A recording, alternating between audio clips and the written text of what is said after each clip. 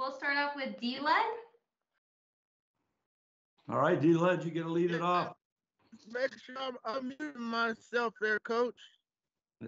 Um, hey, coach, uh, the game like um Dallas, uh, what are some teaching tools you you were pull out of that? uh, You're break, you're breaking up a little bad. Okay. I, What I, are I, some of the I couldn't hear the question. Okay, um, I'll go slower. Maybe that'll help.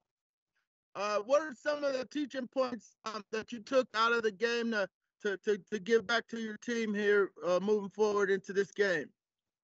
Well, big teaching tools were the mistakes that we made. We had a couple of me- mental errors in zone coverage, um, our technique in man coverage. There were some things like that.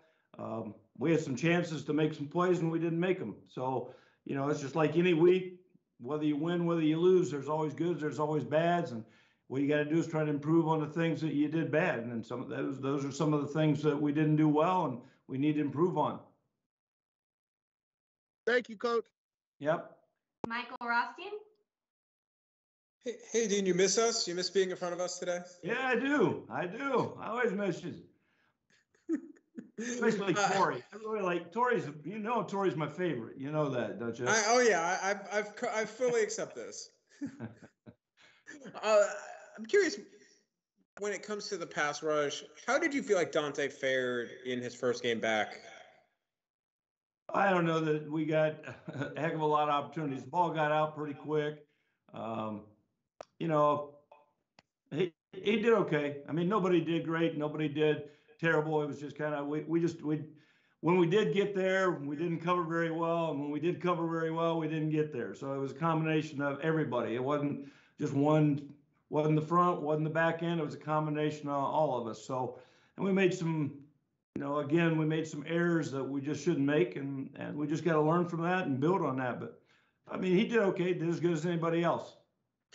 You had talked last week about how New England's offensive playbook is this massive thing, and your playbook is a pretty massive thing. Having worked in New England, is there some sort of advantage or maybe disadvantage because Bill knows you pretty well that can happen? I, I don't think so. And and really, it was 2009 was the last time I was there. I mean, that's a long time ago. A lot of things have changed. I mean, Josh is still there and all that stuff, but you know, there's been a lot of changes.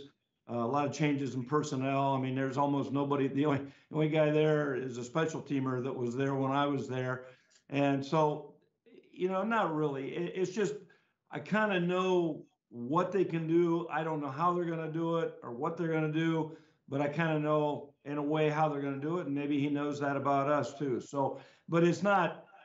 I I don't think there's any real big advantage. No. Thanks. Yep. Tori.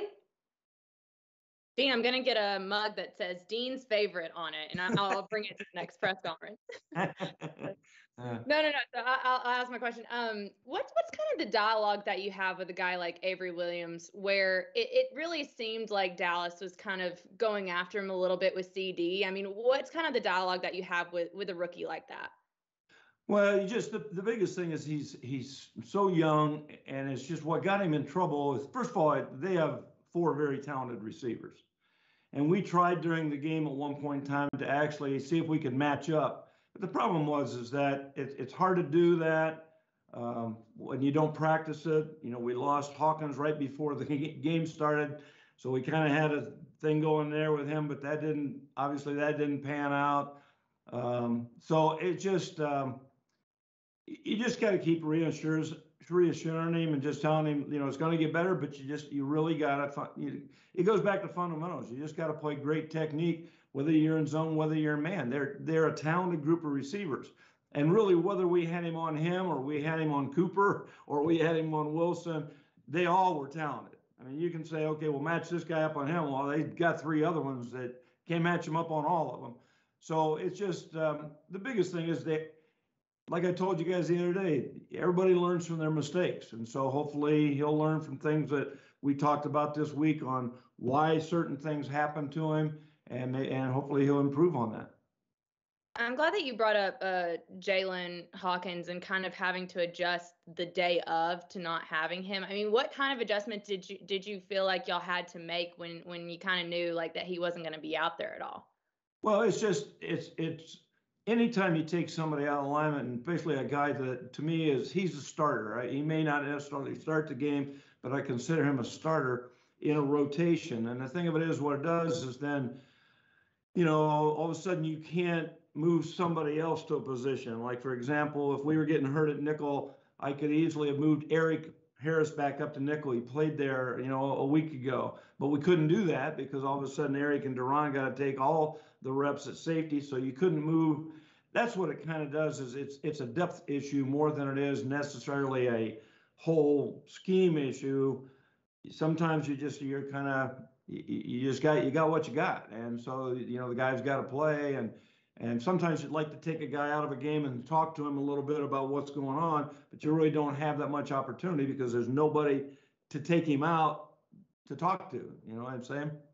Yeah, and, and just one more for me. Um, with with Bill Belichick, you you guys go way back. Is there kind of something that you've learned about him that maybe people don't don't know of? Maybe some stories that you could share about your time with him.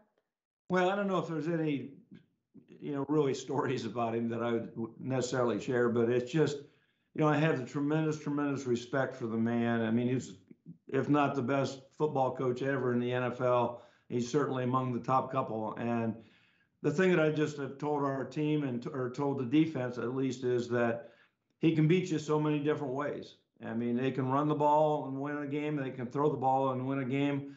Um, I've seen it firsthand where we went, they went into games and went empty the whole first quarter and went no huddle. And you know, now it's looked like they they run the ball, you know, a lot and all these two back formations that we haven't seen. And then, but I said, but don't surprise that he could come out and throw the ball every down for the first ten downs. I'm just telling you, they they can change overnight, and uh, it's just there's been so much continuity there that with him and Josh and and those guys and Ivan Fears and they just uh, they just kind of regroup. Awesome. Thank you. You bet. Anthony? Coach, of course, this is a short week this week when you get ready to play New England. How would you describe your team eagerness just to get back on the field, especially with it being a short week than usual? Well, I think, you know, whenever you lose and whenever you lose and really feel like you played poorly, you, you really can't wait to get back because you just feel you got to get that taste out of your mouth. And so we just got to go back out and, and prove that we're a better team than what we showed last week. So I know it's a short week. It's a tough week for the players. A tough week for the coaches. You got to get, but it's it's tough on the other team too. And so it's it's not like we're the only ones that had a short week. So is New England. So and they got to travel here. So it's just you can't wait to really kind of get back out there. And I think the players feel that way too. Um, you kind of touched on Dante Fowler a little bit. He's coming back into you know game and his form and everything. What do you think? Most importantly, he he um he'll be able to bring during this point in the season, where you know right now this point in the season. Well, we just you know we need him to be you know the guy that, that we think he can be. We need him to be a pass rusher guy that can set you know come on the edge and and beat one on ones. I mean, that's what we need him to be. And, uh, you know, that's, that's why he was brought here a couple years ago. And, and that's what we need him to be. And so hopefully he's healthy now and, and he can provide it for us. Because right now, you know, we, we're struggling there. I mean, it's no secret. I mean, I'm not making anything up. I'm not upset with anybody. I'm not disappointed. It is what it is. And, you know, but we got to provide more pressure on the quarterback, and it can't always be with the pressure. You know, we pressured last week Right, we had two guys on that one touchdown pass. We had two guys free to hit the quarterback. I don't know if anybody saw the play, but you know, if ball gets off, then you got to be able to cover them. So it's both. It's not just pressure. Pressure isn't always, you know, the answer. And we've tried doing that, and sometimes we don't get. And when we don't get there, it's it's not pretty sometimes. So it's just we need him to provide a presence out there on the edge that can just can rush the passer. That's what we need. Chris Rim? uh, Coach, when you when you watch the Patriots on film um, and their offense, or is there anything that stands out to you um, about the way they play that that other teams don't do? Yeah, they're physical. Here's the thing about their running backs, okay? If you watch their running backs, you watch the film, what Bill Belichick tells those guys, and what Ivan Fears, who's the running back coach and has been there for 20 some years, what they tell those guys to get a first down, they aren't trying to get a touchdown. They are, but they're trying to get a first down. Ever watch them? They don't jump cut. They don't try to take a six yard gain and turn it into a 30 yard gain. They take a six yard gain and try to make it into a nine or 10 yard gain. And sometimes that'll turn into a bigger gain. They run downhill. They aren't looking to avoid contact. I mean, if you watch them, they are straight ahead, no fair dodging. I mean, that's what they do. And that's why they just grind it out and grind it out and grind it out. You know, sometimes you'll see a running back break through the line. He's going to try to make a, a big play, and then he gets tackled trying to make a bigger play. Bill doesn't coach that way. Ivan doesn't coach that way. It's going, I'm going straight ahead, north and south, and you're going to have to tackle me and get me down. And if you watch them on film, that's exactly how they play. It's physical. Justin Felder. Hey, Dean, I'm, I'm going to mess up his quote, but Matt Ryan said after the game, you know, you have to take advantage of a game like what happened in Dallas and learn from it. Otherwise, it's an opportunity wasted. What do you think is the biggest lesson you want your defense to take away from that game in Dallas? You can't make mental mistakes. You can't make, we, we made a couple of mental mistakes in that game that hurt us in zone so therefore, then when you come back, you, you, try calling a little bit of man coverage, which really I did not want to call very much of in that game based on their receiving corps.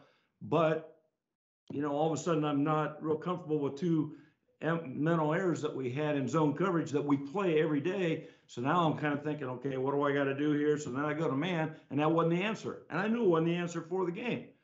But and, I, and you know, I can be mad at myself for it, but I feel like that's the thing. What happens is it gets you kind of off rhythm. It gets you off of what you really wanted to do in the game, how you wanted to call the game. You know, you want them to go the long, hard way. You want them to do all that stuff. Um, and all of a sudden you feel like, okay, I got to take a little bit more of a risk, which usually doesn't pan out. Because if I thought it was that way to begin with, I would have, you know, I would have planned the game plan that way. So to me, that's what we got to take from it. We got to take that. We just got to do our job. Everybody is assigned a job. And every profession in this world, everybody's got a job to do to make the company work and successful. And the way we have to do it, all 11 guys do their job, not somebody else's. When you start taking chances, which that's why we had the mental errors, somebody took a chance thinking, I'll go make a play to help somebody else out. Then they throw it right where they're supposed to be. Well, that didn't work. And so that's what we got to learn and we got to take from this. Is just look, if somebody beats you, they beat you because they're better than you. Don't beat yourself. And that's what we did a lot on defense last week because we made too many mental mistakes. Tenitra? Oh, good. Thanks. We got time for one last question. Anybody? Or all right, guys. Oh. Appreciate you as always. Thanks. See ya. Thanks, Dean.